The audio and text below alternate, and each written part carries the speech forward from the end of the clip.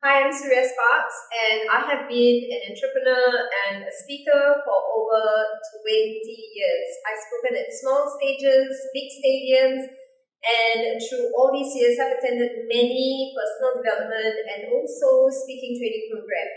So I've just attended the speaking mastery program with Mitch Carson.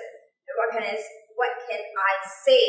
Blown away in what ways? In many ways. There are many things that I have not realized about how I have presented myself on stages and that small little things that I did not pick up. And he actually blew my mind away by showing me those simple things that made big, big, big changes in the way I would present myself and speak, not just locally, but internationally. Another thing that I find that is amazing about Mitch Carson is the value that he offers to the participants. I have never, and I'm going to say this, I have never, never, never seen a value this compact and this valuable. There are many programs out there that you can learn how to speak. But what is really different when I say really valuable is that he helps the participant immerse in the program.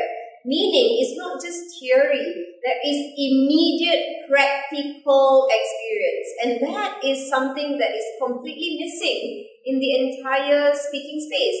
Not just practical experience within the classroom, but we even have practical experience in the space of media, being interviewed in television, in radio, and given the experience to speak internationally. Now that comes in an entire package and I've not seen this kind of package delivered at this high level value by any speakers before.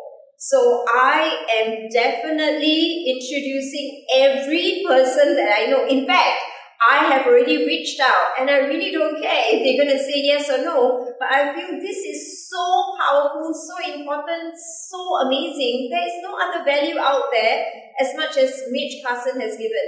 And I have shared this actually to all my tribe and I've told that if you ever, ever want to be an international speaker and you want to brand yourself internationally, the only one person you go to is Mitch Carson.